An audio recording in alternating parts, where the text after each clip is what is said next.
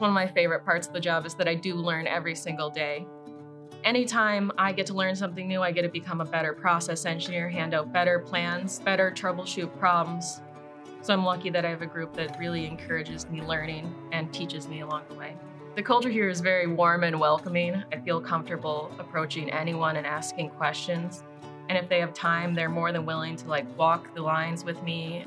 It's really nice that as a process engineer, I can reach out to process engineers at the Escanaba mill. I can be talking with people at the corporate office who are working with our customers. I have a lot of accessibility to different resources to do my job best. I'm excited that we're investing in the mill to make sure that we're doing the best thing to produce quality paper that people want